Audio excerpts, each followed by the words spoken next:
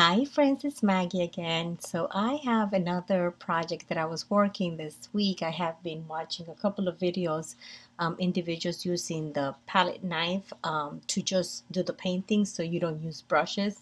Um, sometimes you can cheat depending if you're having a hard time like I did. Um, there were a couple of times I couldn't use my knife, I couldn't do it. So I jump in and use the brush uh, just to create a you know, to complete that image that I was trying to do. Um, I chose a butterfly to make it nice and easy so you guys can also try it and do something that you're comfortable with. If a butterfly is something that you're comfortable doing, you can use it.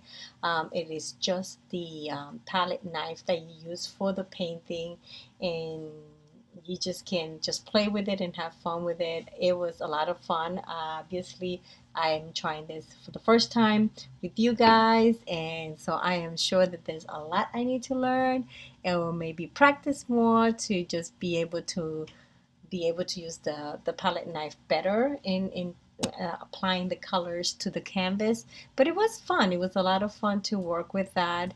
And um, I also did it in my little junk journal and you'll see it when I show my photos that I've, I've worked this week which was I think that was the only one I did this week because it took me a long time I added a lot I had a little uh, house there uh, with trees and you'll see it and a, and a rooster and some hens and stuff like that. So it was kind of nice, but it did take me a long time.